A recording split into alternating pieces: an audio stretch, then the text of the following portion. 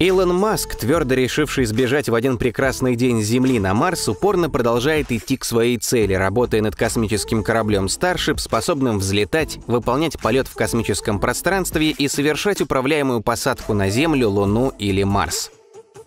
Недавно 15-й прототип ракеты смог совершить успешный тестовый взлет и посадку. А пока весь мир ожидает новых испытаний, мы с вами взглянем внутрь Starship и посмотрим, как здесь все устроено.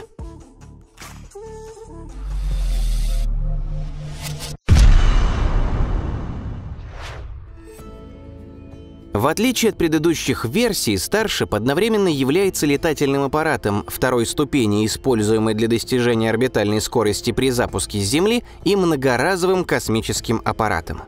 Для взлета с Земли в качестве первой ступени будет использоваться многоразовая сверхтяжелая ракета-носитель Super Heavy. Корабль будет доступен минимум в четырех модификациях – Космический корабль Starship – полностью многоразовая транспортная система, предназначенная для перевозки экипажей и грузов на околоземную орбиту, Луну, Марс и далее. Корабль использует сверхтяжелую ракету Super Heavy для доставки грузов и экипажа на околоземную орбиту и в состоянии самостоятельно осуществить взлет и посадку на Луну и Марс. Лунный посадочный модуль Starship Lunar Lander – Разрабатываемая по заказу НАСА версия пилотируемого корабля, способного перевозить экипаж с низкой околоземной орбиты до лунной орбитальной станции Гейтвей и между станцией и поверхностью Луны. Топливный танкер, Starship танкер для доставки топлива на орбиту, где предполагается разместить топливное депо для дозаправки, необходимое для длительных перелетов.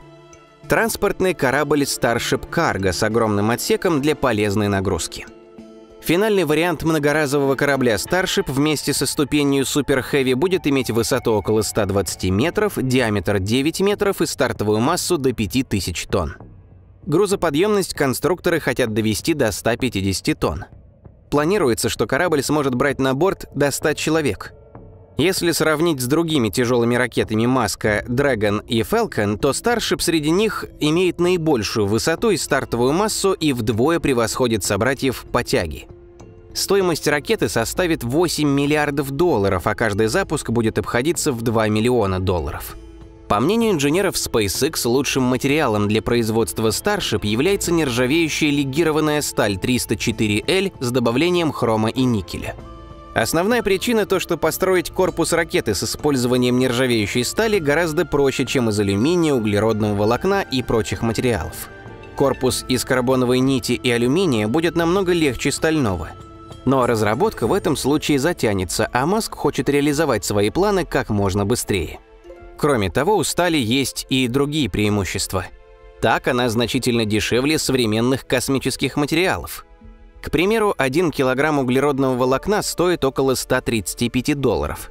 При создании корпуса ракеты весь объем этого материала использовать не получится, и около 35% карбона пойдет в брак – поэтому условная стоимость его увеличивается до 200 долларов за килограмм.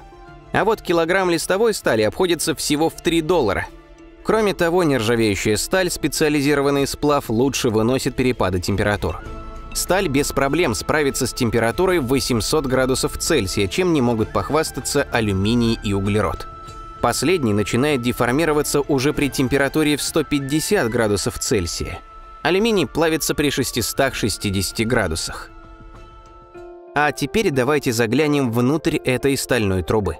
В носовом обтекателе расположен отсек для поездок. Сейчас у прототипов это место оставлено пустым, но при проведении дальнейших испытаний здесь разместят многофункциональный грузовой отсек. Когда же ракета начнет выполнять свою прямую функцию, доставку людей и грузов на Марс, здесь будут располагаться пассажиры – Внутри ракета будет разделена на несколько уровней. Складские помещения, места для экипажа, зона для занятий, кухня, ванная комната и многое другое. Самый высокий уровень звездолета будет служить палубой для экипажа и одновременно смотровой площадкой. Подняться сюда можно на лифте. Здесь по кругу расположено 20 кресел, зарезервированных для команды корабля и научных сотрудников.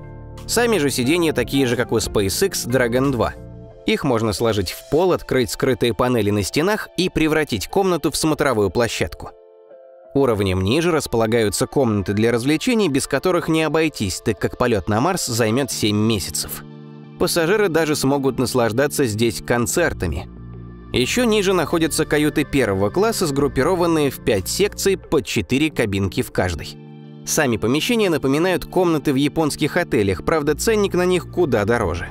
Ведь стоимость обычного билета на Марс будет составлять 200 тысяч долларов, а билеты в первый класс и вовсе 1 миллион. В каждой каюте есть свой иллюминатор, так что пассажиры смогут наблюдать за звездами. Уровнем ниже располагается ресторан. Чтобы тарелки не летали по салону, в столах встроены магниты. На следующем уровне находится тренажерный зал и ванная, а сразу под ними общий салон для тех, кто не смог раскошелиться на миллион. Общий салон состоит из трех этажей.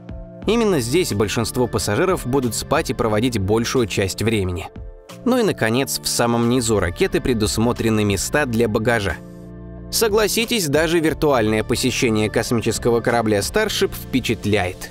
Можете себе представить, как грандиозно это выглядит в реальности? Благодаря усилиям SpaceX Марс стал настолько ближе к нам, что многие уже задумываются, какой багаж брать с собой в полет на Красную планету. А чтобы вы взяли с собой в космическое путешествие? Напишите в комментариях.